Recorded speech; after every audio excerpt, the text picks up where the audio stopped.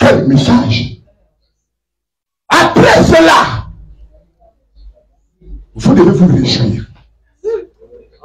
Quand vous pensez à Apocalypse chapitre 4, 1, réjouissez. Oh Seigneur, le ciel s'est ouvert. Je n'ai pas seulement lu l'écriture, mais vous devez dire, mon Seigneur a expérimenté cela.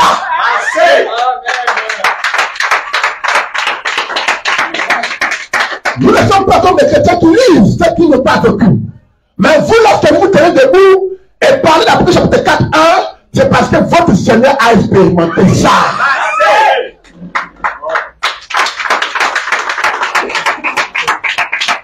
Lorsque vous parlez de Matthieu chapitre 25, 6, c'est pas par imagination comme les faux prophètes qui n'ont eu aucune expérience. Vous parlez de Matthieu 25, 6, de la résurrection de la Vierge.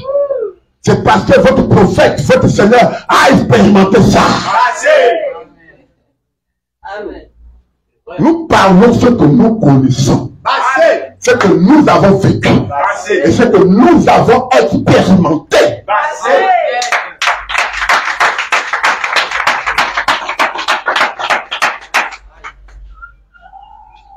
Lorsque nous disons que le temps de nation est terminé, votre Seigneur a expérimenté ça.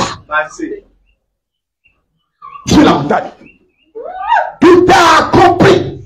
Nous parlons ce que nous avons expérimenté. Les Écritures confirment ce que nous avons expérimenté.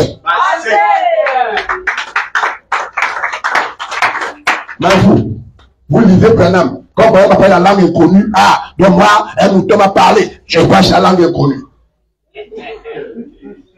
Comme si à la seconde venue, c'est l'agneau qui entre en scène. Bande de comédiens. À minuit, c'est plus l'agneau. Le cri de l'agneau ne peut résister les vierges. L'agneau ne crie pas. L'agneau ne science pas. Il faut un coup de tonnerre pour une réflexion, pour un réveil. Et c'est le lion.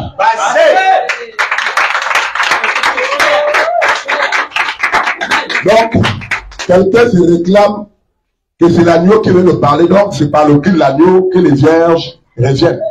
Vous êtes des comédiens. Alléluia.